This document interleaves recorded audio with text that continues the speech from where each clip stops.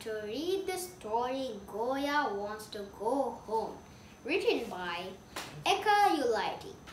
Let's start reading.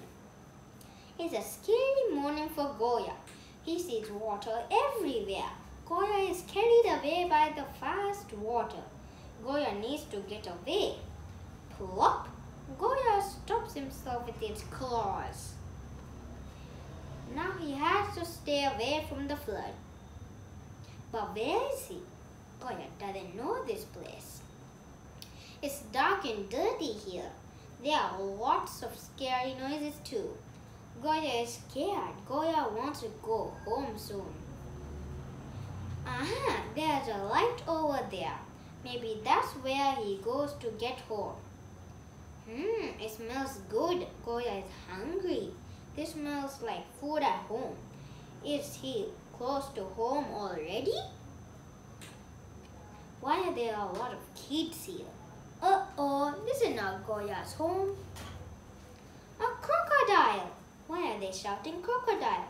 Why do they look scared? Look, it's a crocodile.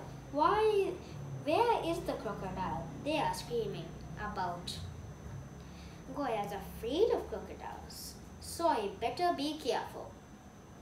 Watch out! There's a crocodile! Watch out! There's a crocodile! The kids shout more loudly. Now Must escape. He looks everywhere but there's no crocodile, not to the right or the left. Go away, crocodile. Go. Don't come closer.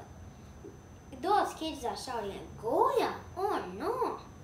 Perhaps the crocodile is behind him. Maybe Goya should scream too to make the crocodile go away. Goya screams loudly. Zzz! Run, run, run! Those kids run fast. Goya has to run too. He doesn't want to get caught by the crocodile. Goya has to get into this hole. Hopefully the crocodile doesn't see Goya. Hurry up, swim faster, Goya. Oh, Goya knows this place. He is close to home now. Hooray! Finally, Goya is home. Goya is very tired and hungry. It's time to find food. Wait a minute.